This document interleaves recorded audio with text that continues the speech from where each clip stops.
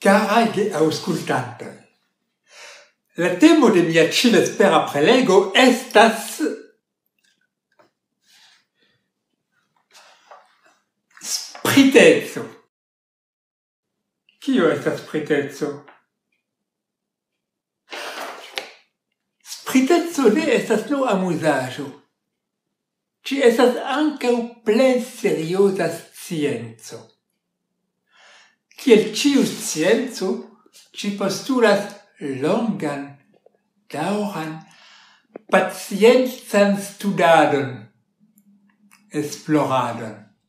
Miaj esplorisistoj pri spriteco, do miaj sp spiritologoj, kies no mi ne malkaŝos, demonstris antaŭ mi longe, ki spritaĵoj, On Oni povas klasifiki laŭ diversaj grades.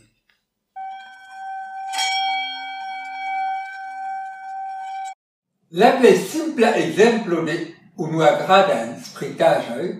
est-ce que la femme raconte de la du surduloj kiuj hazarde renkontiĝas surstrate kaj unu demandas al la alia ĉu vi iras fiŝkapti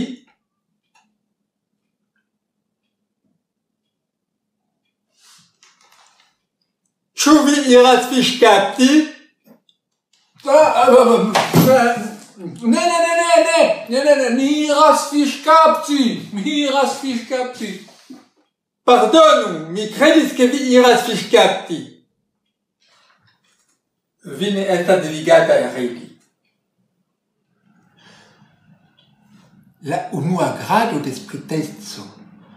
La ira l'in errara, unu dimensia, qui ira de unu deven punto al iucel punto, recte, paspese, encotige. Sed tion ci spritage ni povas modifi kaj evoluigi laŭ diversaj gradoj.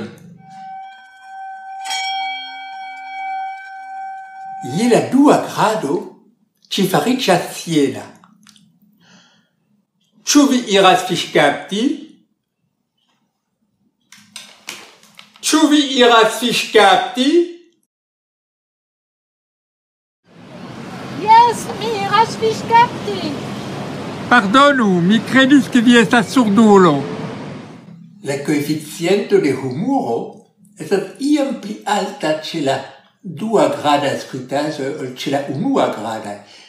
mi sentis tien.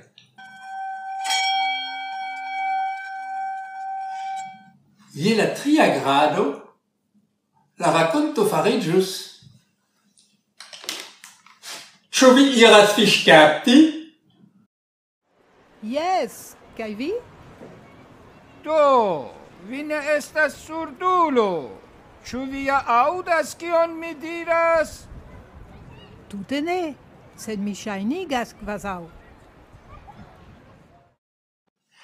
La tria grado es sa tridimensiarelièfa qu’a nun estimata que ausculcan ni atatingas.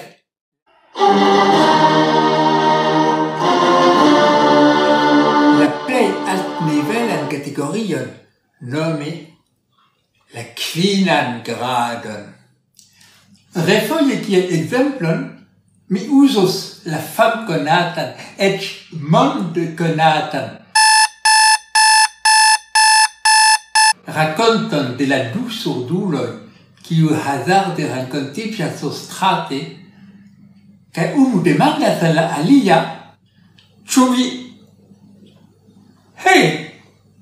qui est bien stas do?